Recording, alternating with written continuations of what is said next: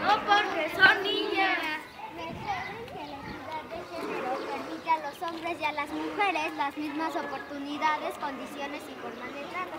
Les muestro este artículo donde dice la ciudad de género para que la comprendan. Oh. Bueno, aceptamos jugar con usted.